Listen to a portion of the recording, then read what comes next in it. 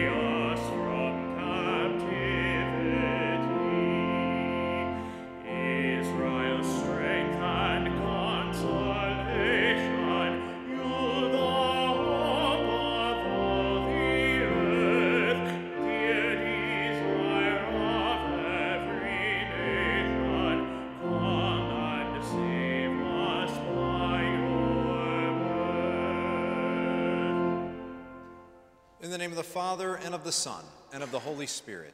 Amen. The grace of our Lord Jesus Christ, and the love of God, and the communion of the Holy Spirit be with you all. And with your spirit, We come together with the Universal Church to celebrate the first Sunday in Advent, to celebrate uh, and to acknowledge that we are going towards something. So we should prepare ourselves to receive the Lord at his coming at Easter, at, at Christmas Day. So as we come into this celebration, let us know that we are, this is a time of preparation. Brothers and sisters, let us acknowledge our sins and so prepare ourselves to celebrate the sacred mysteries. Lord Jesus, you came to gather the nations into the peace of God's kingdom. Lord, have mercy. Lord have mercy. Lord Jesus, you come in word and sacrament to strengthen us in holiness. Christ, have mercy. Christ have mercy. Lord Jesus, you will come in glory with salvation for your people. Lord, have mercy. Lord have mercy. May Almighty God have mercy on us, forgive us our sins, and bring us to everlasting life. Amen. Let us pray.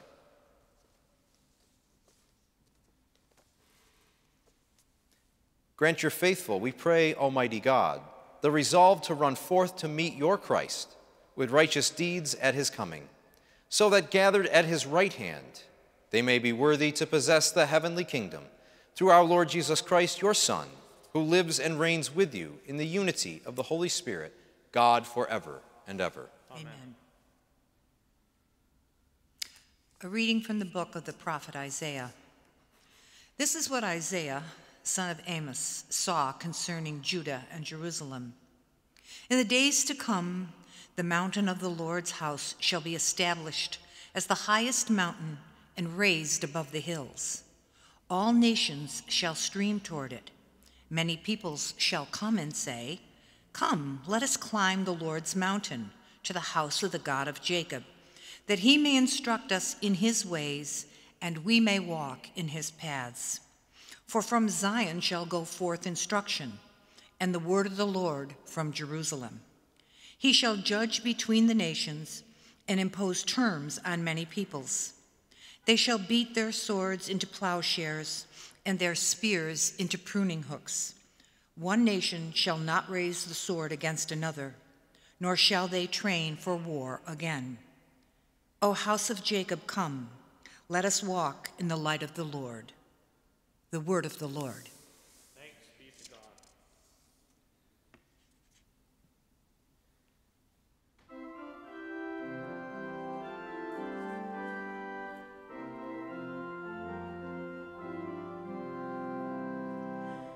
Let us go rejoicing to the house of the Lord.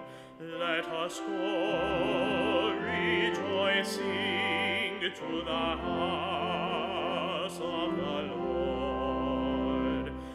I rejoiced because they said to me, We will go up to the house of the Lord. And now we have set foot within your gates, O Jerusalem. Jerusalem built as a city with compact unity. To it the tribes go up, the tribes of the according to the decree for Israel, to give thanks to the name of the Lord. In it are set up judgment seats, seats for the house of David. Pray for the peace of Jerusalem. May those who love you prosper. May peace be within your walls, prosperity in your buildings. Because of my brothers and friends, I will say, Peace be within you. Because of the house of the Lord our God, I will pray for your good. Let us go rejoicing to the house of the Lord.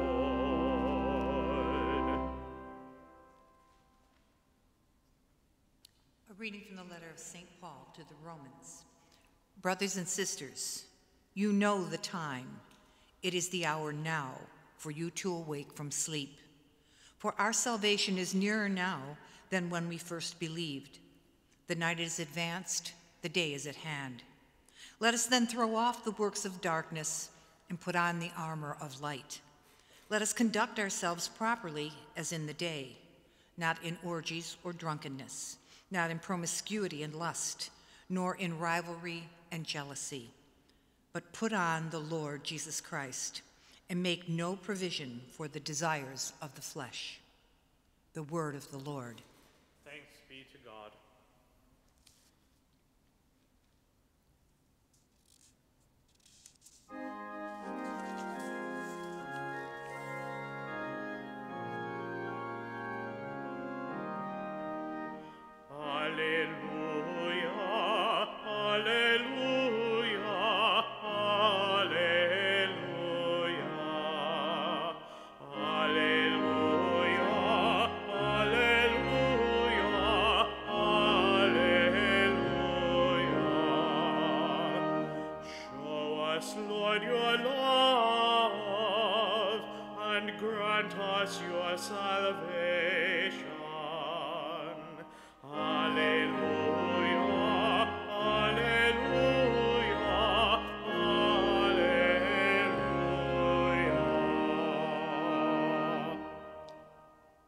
The Lord be with you. And with your spirit, A reading from the Holy Gospel according to Matthew. glory to you, O Lord. Jesus said to his disciples, As it was in the days of Noah, so it will be at the coming of the Son of Man. In those days before the flood, they were eating and drinking, marrying and giving in marriage, up to the day that Noah entered the ark. They did not know until the flood came and carried them all away. So will it be also at the coming of the Son of Man. Two men will be out in the field, one will be taken, and one will be left. Two women will be grinding at the mill, one will be taken, and one will be left. Therefore, stay awake, for you do not know on which day your Lord will come. Be sure of this if the master of the house had known the hour of night when the thief was coming, he would have stayed awake and not let his house be broken into. So too, you also must be prepared.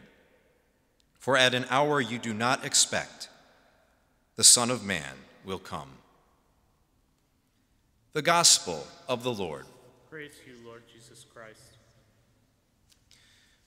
We have some pretty intense imagery in this gospel. Uh, two people being out in the field, one being taken up, one being left. It's kind of a source for the kind of some different Christians view on the rapture, that there's going to be some kind of taking up of the elect and some being left here. And in our Catholic faith, we don't necessarily subscribe to the rapture. And personally, uh, I'm okay with that because I always kind of felt this rapture to be kind of weird. But anyway, we look at today's readings and they point us to a certain theme, and that's prepare, to prepare ourselves for the coming of the Lord. And in our contemporary society, we're, it's everybody's usually preparing for that celebration, that party at Christmas Day. And there's things we do we can name getting gifts, preparing the house, inviting guests. Those are all things we can do.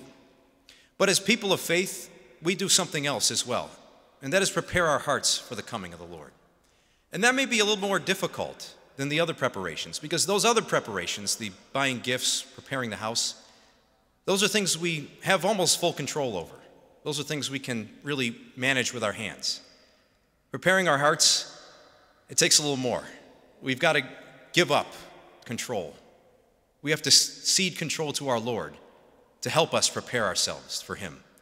So, this Advent, just remember that the Lord is there for us and that we don't have to be in full control of everything, but we can let Him take control of our hearts so that when we do have this celebration on Christmas Day, that we are more and more fully aware of His love for us and the world and for those around us. Let's prepare first our hearts for the coming of Christ this Lent, this Advent.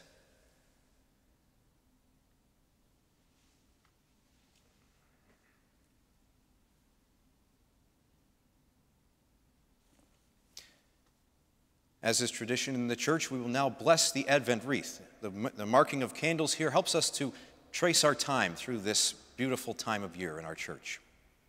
Let us pray. Lord God, your church joyfully awaits the coming of its Savior, who enlightens our hearts and dispels the darkness of ignorance and sin. Pour forth your blessings upon us as we light the candles of this wreath. May their light reflect the splendor of Christ, who is Lord forever and ever. Amen.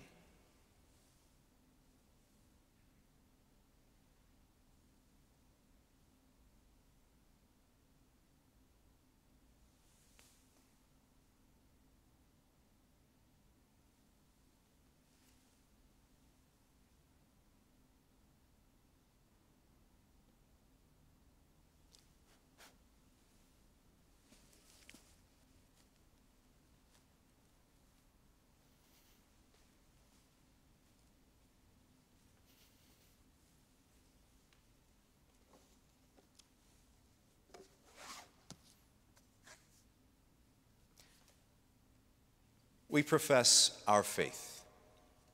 I believe in one God, the Father Almighty, maker of heaven and earth, of all things visible and invisible.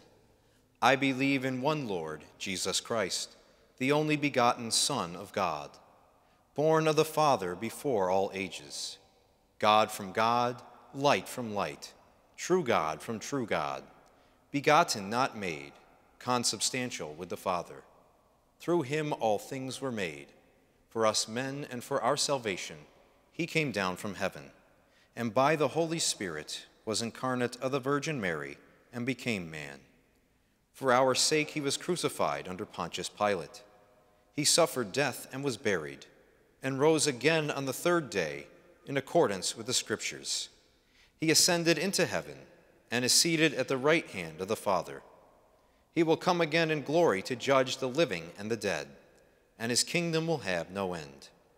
I believe in the Holy Spirit, the Lord, the giver of life, who proceeds from the Father and the Son, who with the Father and the Son is adored and glorified, who has spoken through the prophets. I believe in one holy, Catholic, and Apostolic Church. I confess one baptism for the forgiveness of sins, and I look forward to the resurrection of the dead and the life of the world to come. Amen. As we enter this holy season of Advent, we prepare our hearts to receive the Messiah. With joyful hope, let us offer our prayers to the Lord. For the Church, called always to reflect the light of Christ to others, may the Holy Spirit help us make a joyful and fruitful witness to the gospel. Let us pray to the Lord. Lord, Lord hear, hear our, our prayer. prayer. For all who support the work of vocation promo- promotion through their prayers and good works, let us pray to the Lord. Lord, hear our prayer. For leaders in government, community, and service organizations, may God grant them the gift of fortitude. Let us pray to the Lord. Lord, hear our prayer. For those struggling with darkness of the mind, heart, or soul, may Christ's light bring them comfort and hope. Let us pray to the Lord. Lord, hear our prayer. For our diocesan faith community, may the Holy Spirit help us increase and abound in love for one another as children of our Heavenly Father. Let us pray to the Lord. Lord, hear our prayer. For those who have died in Christ, may they live in glory forever with God and all the saints. Let us pray to the Lord. Lord, hear our prayer. Loving Father, please hear and answer our prayers this day in your wisdom. We ask this through Christ our Lord. Amen. Creator of the stars of night, your people's everlasting light, O Christ, Redeemer of us all, we pray you'll hear us when we call. In sorrow that the ancient curse should doom to death a universe, you came, O Savior, to set free your own inglorious liberty. When this old world drew on toward night, you came, but not in splendor bright, not as a monarch, but a child of Mary, blameless Mother.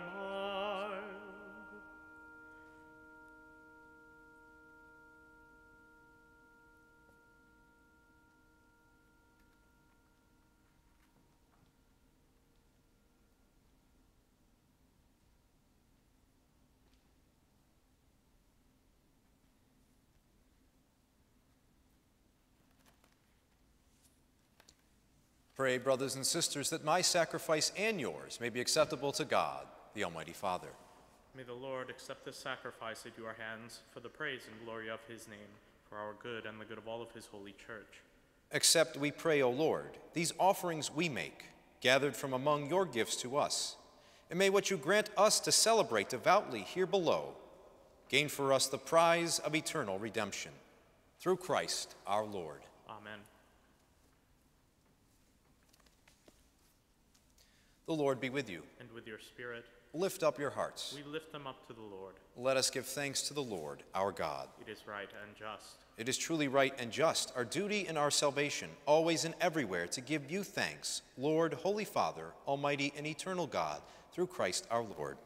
For he assumed at his first coming the lowliness of human flesh, and so fulfilled the design you formed long ago, and opened for us the way to eternal salvation, that when he comes again in glory and majesty, and all is at last made manifest, we who watch for that day may inherit the great promise in which we now dare to hope. And so, with angels and archangels, with thrones and dominions, and with all the hosts and powers of heaven, we sing the hymn of your glory, as without end we acclaim.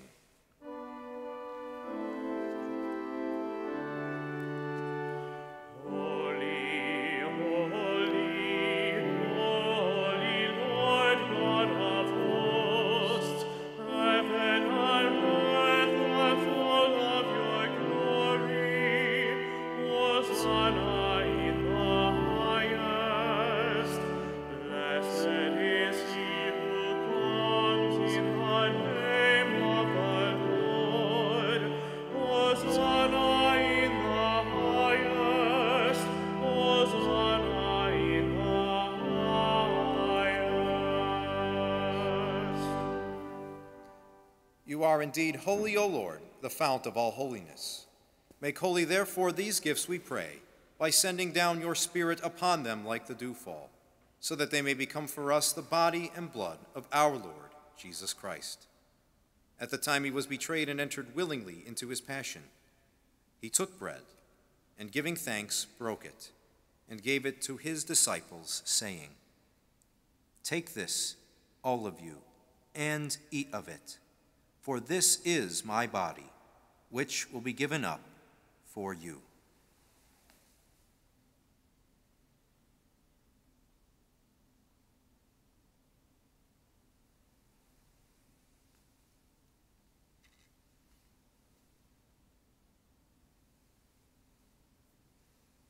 In a similar way, when supper was ended, he took the chalice, and once more giving thanks, he gave it to his disciples, saying, Take this, all of you, and drink from it, for this is the chalice of my blood, the blood of the new and eternal covenant, which will be poured out for you and for many for the forgiveness of sins.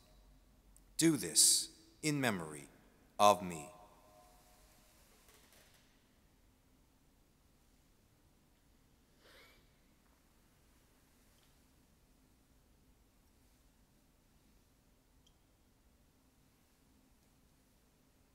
The mystery of faith. When we eat this bread and drink this cup, we proclaim your death, O Lord, until you come again. Therefore, as we celebrate the memorial of his death and resurrection, we offer you, Lord, the bread of life and the chalice of salvation, giving thanks that you have held us worthy to be in your presence and minister to you. Humbly we pray that partaking of the body and blood of Christ, we may be gathered into one by the Holy Spirit. Remember, Lord, your church spread throughout the world, and bring her to the fullness of charity, together with Francis, our Pope, and Douglas, our Bishop, and all the clergy. Remember also our brothers and sisters who have fallen asleep in the hope of the resurrection, and all who have died in your mercy. Welcome them into the light of your face. Have mercy on us all, we pray, that with the Blessed Virgin Mary, Mother of God, with Blessed Joseph, her spouse, with the blessed apostles and all the saints who have pleased you throughout the ages, we may merit to be co heirs to eternal life and may praise and glorify you through your Son, Jesus Christ. Through him and with him and in him, O God Almighty Father, in the unity of the Holy Spirit, all glory and honor is yours forever and ever.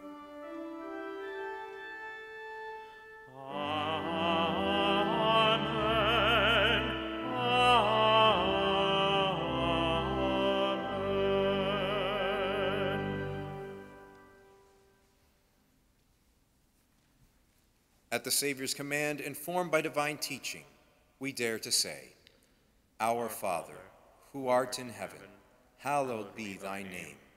Thy kingdom come, thy will be done, on earth as it is in heaven.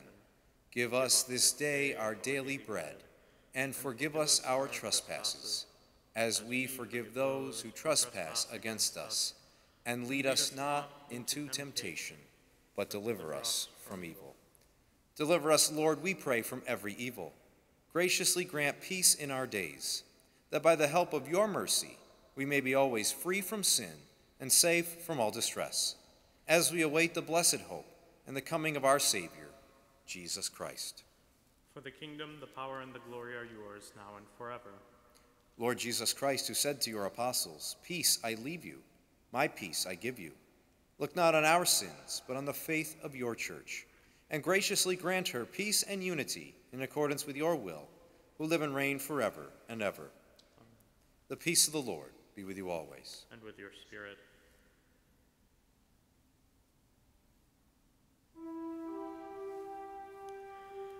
Lamb of God, you take away the sins of the world. Have mercy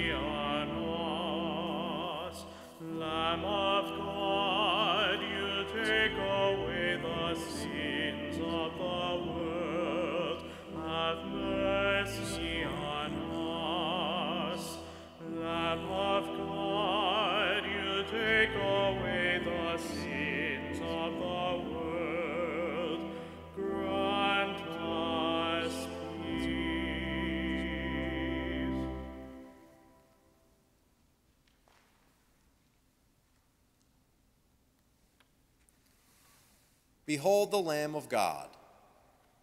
Behold him who takes away the sins of the world. Blessed are those who are called to the supper of the Lamb.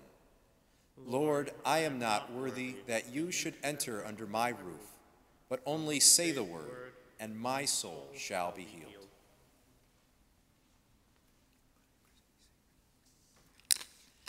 My Jesus, I believe that you are present in the most holy sacrament.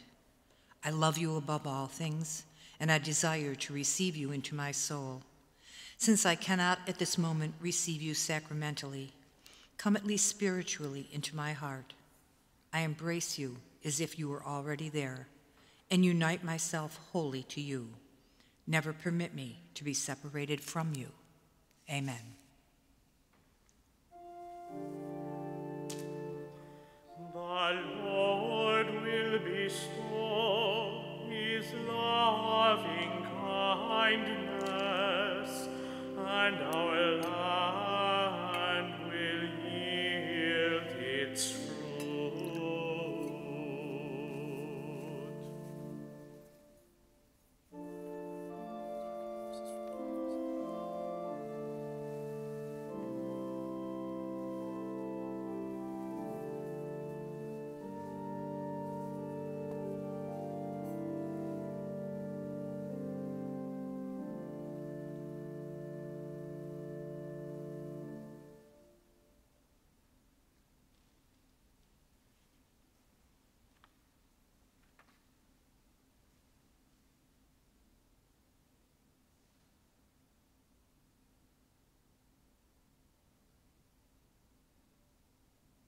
Let us pray.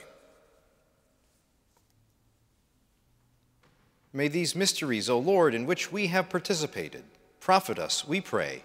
For even now, as we walk amid passing things, you teach us by them to love the things of heaven and hold fast to what endures.